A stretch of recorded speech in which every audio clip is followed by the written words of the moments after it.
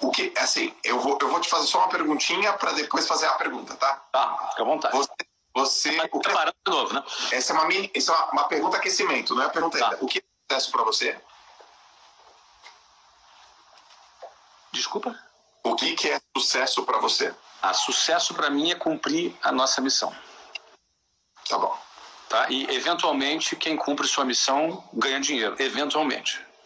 Muitas vezes ganho. Por exemplo, a Madre Teresa de Calcutá cumpriu sua missão, mas ela não ganhava dinheiro. Não é? Então, eventualmente, o teu, a tua missão pode, né, na hora que você ficar bom, eventualmente você vai ganhar dinheiro. Mas nem sempre você vai ganhar dinheiro. Tá bom. Então, posso falar aqui com tranquilidade que você é, você é para mim uma pessoa bem-sucedida você se considera uma pessoa bem-sucedida, certo? Sim, me considero. Minha missão é muito clara.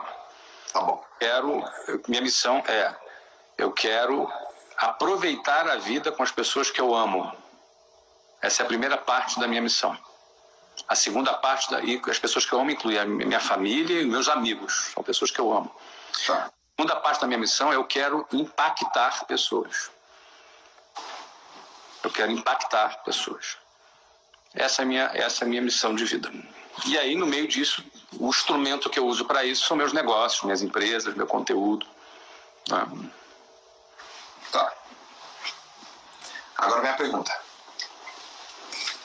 Já, vamos dizer assim, já fiz aqui o debriefing, balizamento, ba- balizamos aqui. Na sua opinião, qual é a principal chave para esse seu sucesso? Principal. Principal chave, porque chave dá senha. Então, qual a principal chave para o seu sucesso profissional? Eu sei que existem várias, mas eu quero saber, tipo, a principal. Deixa eu tentar não ser. Deixa eu primeiro ser generalista e depois eu tentar ser específico, né? É, é um conjunto de muitas coisas, mas eu penso que esses princípios que a gente dividiu aqui são princípios é, que eu aprendi desde cedo com a minha família, não é? É, são princípios é, que me mantiveram. Eles funcionaram muito para que eu não fizesse nenhuma bobagem, porque é muito fácil fazer bobagem na vida, entendeu? Eu acho que tem muita gente talentosa e habilidosa que consegue alguma coisa e vai faz uma bobagem e aí estraga tudo. Então, é, eu acho que os princípios nos ajudam a não fazer bobagem na vida. Então, eu acho que isso eu dou muito valor, entendeu?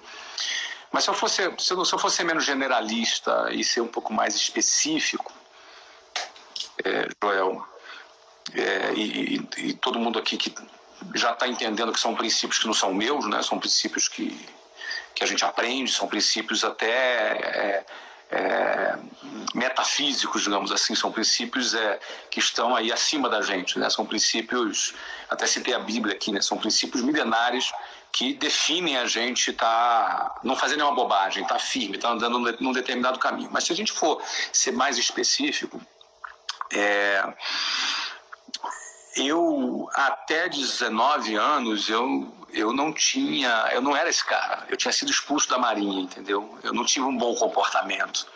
A marinha foi maravilhosa maravilhosa para mim uma experiência sensacional. Tenho amigos maravilhosos que são meus amigos até hoje na marinha mas eu não eu fui mal fui expulso da marinha então eu não, eu não era um cara que estava bem ali até os meus 19 anos, né? Voltei para minha casa desprestigiado, com meu pai chateado comigo, que eu tinha sido expulso da, da Marinha, não é? Ah, um ponto de virada na minha vida foi quando eu me apaixonei pela Luciana. Eu costumo falar isso, né? Me apaixonei pela Luciana e aquilo me despertou vontade de ganhar dinheiro. Nunca tinha pensado em ganhar dinheiro, então nunca quis ser rico, cara. Então aí eu, e ali eu comecei a minha vida, comecei a despertar. Eu acho que a minha busca por querer evoluir e essa busca não parou.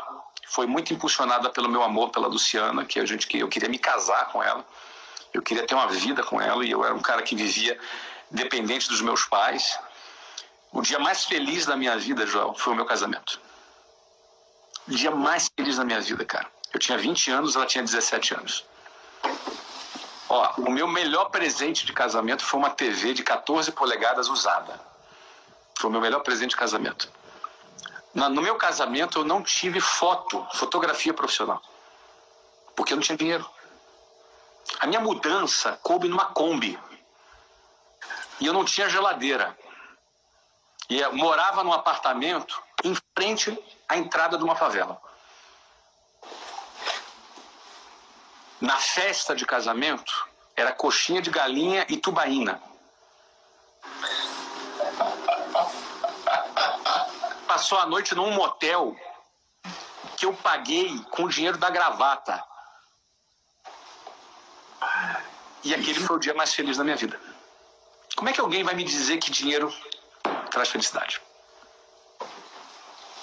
Ele foi o dia mais feliz da minha vida, cara. Eu lembro desse dia, eu lembro de tudo. Você entendeu? E aí o que, que acontece, meu querido? O que, que acontece? É... Essa minha paixão de querer viver a minha vida e construir a minha vida ao lado da Luciana me impulsionou naquele momento. Ela me deu muita força para eu conseguir acordar às 5 horas da manhã todo dia, pegar um ônibus às 6, chegar às 8, cara. Ir pro telefone público, 40 graus no Rio de Janeiro, cara.